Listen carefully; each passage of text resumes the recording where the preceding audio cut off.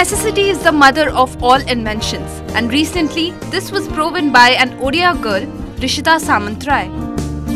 A student of class 9, Rishita was recently awarded by the central government for developing a device that ensures safer bus travel for pregnant women.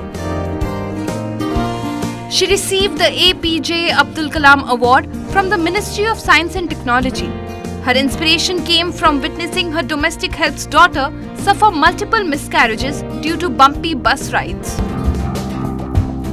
Rishita's innovative device, when installed at bus stops, allows pregnant women to scan their faces and enter the bus number.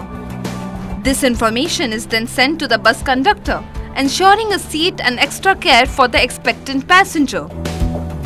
The technology promises to ease travel not only for pregnant women but also for senior citizens and physically challenged individuals.